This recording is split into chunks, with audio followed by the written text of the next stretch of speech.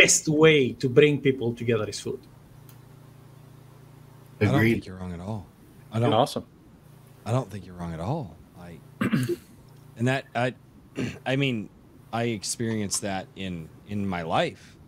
One of, I mean, my my favorite thing to do, and it is, and in the summertime, the schedule on the channel here may change a little bit, but my favorite thing to do is to cook food for people and have people over at the house. It, it would be Ah. as as no, I I love it. I mean, I I and and Yes. like I and my wife and I were always talking about cooking cooking and having people over and uh and and and just sharing that with people and even though as hard as times are getting for many places around the world but Hmm. one of the things that I've always loved, and one of the things that my wife and I love, is finding food from around the world that we can cook. And I always tell my wife this if you ever want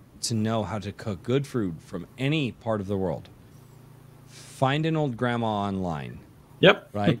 And make sure, and if it's from a part of the world that doesn't share the English language, make sure that there's captions. Because if she's speaking American, it's no. Find a grandma from a part of the world that you and you don't even understand the video, but and and my and believe it or not, my wife does, and and, and she kills it. But I I am not I'm not a well traveled person. I can't say that I ever will be. Maybe one day I will be. I'm not a well traveled person, but the internet has a way of of of of br- of sharing the food and the cultures and the passion of that food, and I think you're 100% correct. I I mean, if I if I could one of these days, and I pray that this will happen. I pray that the as this grows and as it becomes bigger and I I will be able to to fly all of the people out to my small corner of the world and I will be able to barbecue and smoke the meats and pull fresh vegetables out of my garden and my wife and I will be able to prepare the foods not only that we love but the foods that everybody has shared with us with everyone and I I look forward to coming over for dinner, man. I, I thank you for inviting me. Dude, I, Yes. do, I, I do I do an awesome smoked lamb leg. Ah. Chico I- All right, tell me when. I loved smoked lamb. It is Royce, one of my. What? if you were, if you were, if you were a, a human in Star Shattered, most certainly uh, um, a family of gorillas would adopt you instantly, just because of your um, um, skill with uh, barbecue. I, you know, I I love. Man, there's something we, we my wife and I and we we've had to build a new community in our new state that we live in, but before we moved during the summer, mm-hmm. I mean, we would have we'd had a community of people and we just we'd send out a text message on like Friday night and say be like, you know, on, on Saturday, hey, what are you guys doing this weekend? Oh, well, we're not doing much. Well, we were planning on cook, and my wife and I would just come up with this list of stuff. I mean, just, just the list of things, and we never do typical barbecue like burgers and hot dogs. No, my wife and I would always, would always push ourselves. You know, my wife would cook like fantastic gumbos, and I'd get out there and I would do like a, a, a smoked like pulled pork, you know, like a, a pulled pork butt, you know, and my, and and we would just, we were always pushing ourselves to share. And now we're, you know, I looking um, I had mentioned. Um, uh, a while back on I, I think one of my Sunday streams. Um, one of my Sunday streams, somebody had sent in a super chat and it was Peruvian uh, money. And I was like, oh, one of my best friends growing up, his mom was from Peru. And there was this recipe that she made that I loved when I was a kid. And he found it and sent it to me on my Guilded. It's called Arroz Tapado. And it is essentially a rice. You take rice and you form it in the form of patties with with meat and vegetables in the middle with a medley of other things. And it is, I, I loved it as a kid. And I shared it with my wife, and my wife is, and my wife went out the next day, and she couldn't find all of the, but she has all of the the, the stuff waiting. And although I'm not a well-traveled person, one thing that the internet has given us is the ability to experience the flavors of the world and it's awesome because i just i love i don't love just eating the run of the mill just american food all the time my dad grew up with a lot of italians and a lot of mexicans and and then my dad being a truck driver drove all around the us and so he learned how to cook from people that he just talked to once or twice in Texas and cooked fantastic barbecue in Louisiana and I learned how to cook gumbo from my dad. You know, my dad my dad taught me how to do an actual roux. And if you guys don't know how to do an actual roux like but food. It's effort. It, it, oh yeah, no, doing a roux.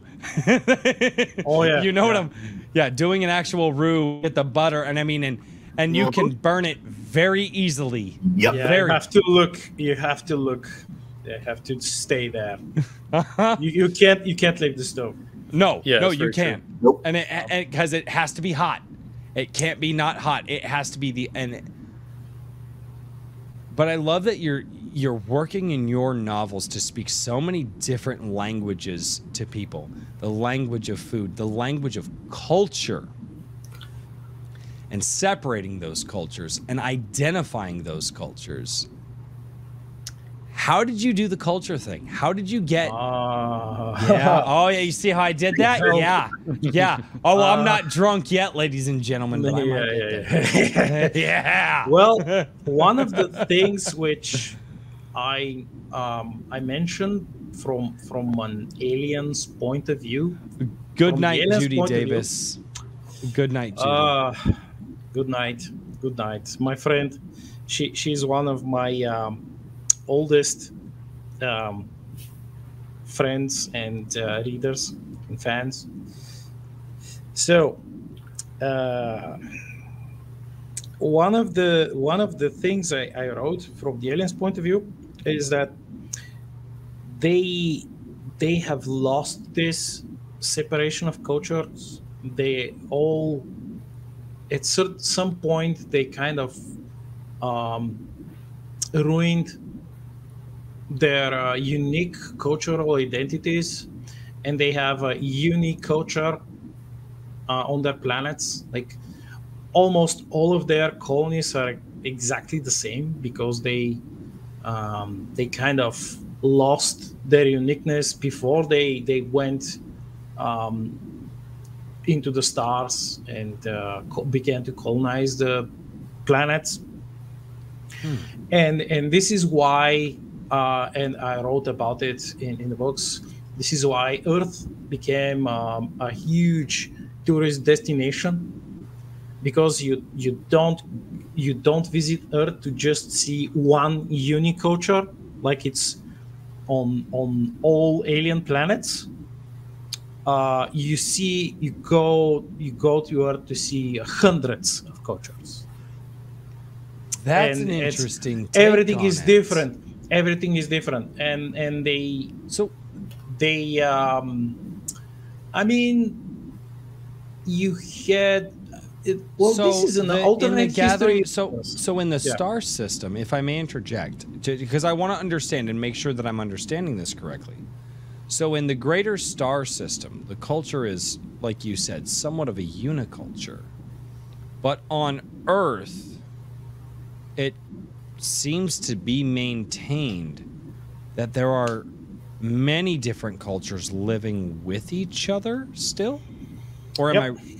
it's uh That. on earth on earth you have um all of the all of the cultures which survive they are preserved and they keep preserving them uh, and when they when different peoples went out to colonize uh, different planets um, they kind of formed even even more cultural uh, specific cultural identities.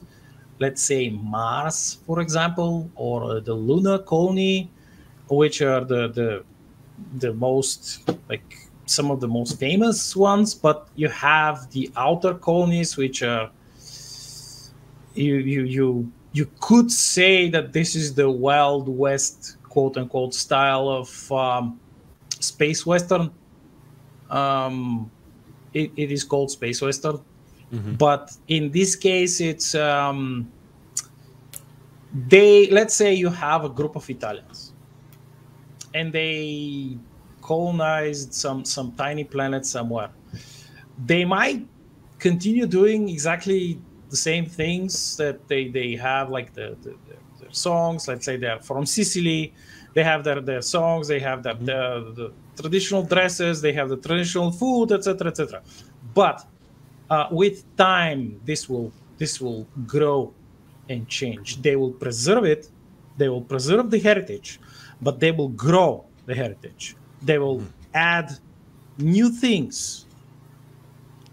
They will not wipe it out and abandon it because if they wipe it out if, if they abandon it for something else then they are they are killing their past Thank you all for being here on A Drink with Crazy. If you guys never want to miss a notification for the channel, go down in the link in the description and click that button to follow me and support me over on Locals. It's free to join, but that's where you can support me with money if you so choose. Also, don't forget to click those Rumble and Odysee links so that way we can get over there and keep that growing.